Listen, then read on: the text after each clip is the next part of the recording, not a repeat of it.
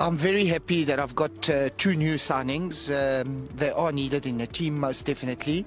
Um, I do respect what the office has to do with regards to the recruitment. However, the team still does need uh, certain players in certain positions that will meet the expectations of Kaizer Chiefs and of the fans. The fans also need to know that it, this is not uh, a, a, a quick uh, transformation of the club to be strong and to have the quality play.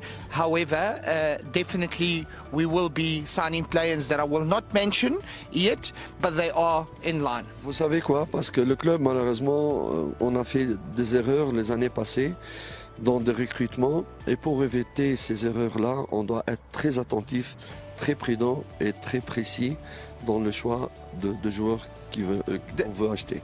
The club has made um, some errors in signing players that were not needed, that were not the quality of Kaiser Chiefs. Um, we need to be very careful how we choose our players, what players we choose, what caliber, what kind of players we, we, we put on the field to meet the expectations. Certes, le marché il est très restreint ici pour le moment. Deux clubs ne veulent pas nous vendre de joueurs de chez eux. Euh, beaucoup de clubs refusent de nous vendre de joueurs qu'on a besoin d'eux.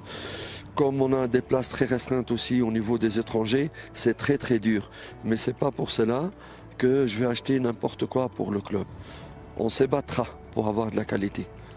Uh, looking at the market that is very tight and very very closed a lot of clubs doesn't want to release their players to us don't want to sell their players to us however we're still going to need to look battle fight to find that right player that we're going to put in the field and give us a plus Welcome everyone to Spy this channel. Let us get the latest of what is in the trends. Um, Kaizer Chiefs head coach uh, has uh, lambasted uh, and went against uh, Kaizer Chiefs players to say that some of them are not the top quality players and he has left out and said that the management has made some errors in electing some of uh, the players to formulate the squad there at Kaizer Chiefs. Hmm.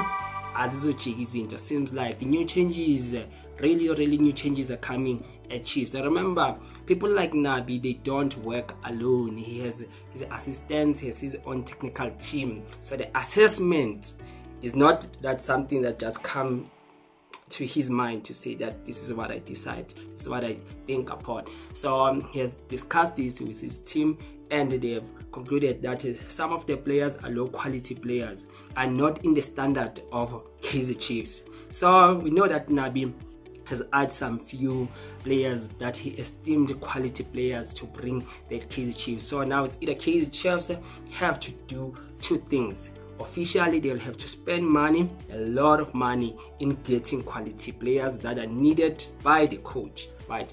And number two Kaizer Chiefs uh, will have to loan some players which they think are will, quality players for Amakosi right? So if they don't want to spend big cash they'll have to go and loan some uh, players right? But one of the breaking news that we have is that Gaston Sirino has finally officially signed with Amakosi after being with Mamelodi Sundowns for six uh, past years.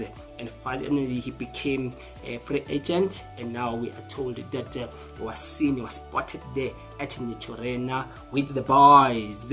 And it is declared that he has went his uh, medical and Mamelodi Sundowns um, has cleared him because he just became a free agent. As a free agent now, it is understood that Sirino had received offers from his native South America in Bolivia and Chile, while young Africans of Tanzania and Stellenbosch FC are understood to have also inquired uh, about his services. So um, we know that Sirino has now officially made that deal with Kaizer Chiefs.